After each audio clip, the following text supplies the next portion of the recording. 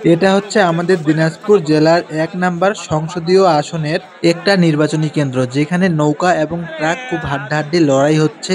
আমরা সাধারণ জনগণ খুব আগ্রহের সাথে অপেক্ষা করছি যে বিজয়ের মালাটা কার গলায় যাবে। স্বতন্ত্র প্রার্থী হিসেবে জাকারিয়া জাকা, যার প্রতীক ছিল ট্রাক মার্কা, এবং নৌকার পক্ষ থেকে ছিল জনাব মনোরঞ্জনশীল গোপাল। সবাই মুখে মুখে আগে থেকেই বলা বলি করতেছিল যে এই সেন্টারে আমাদের ট্র্যাক অনেক ভোটে আগেই থাকবে। তবে শেষমেশ সেটাই হলো ট্র্যাকই জিতে গেল এই সেন্টারে।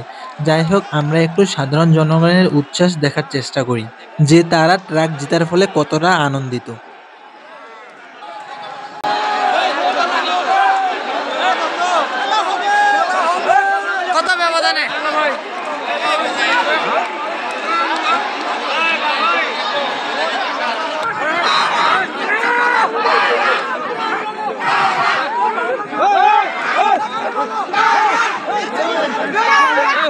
滚滚滚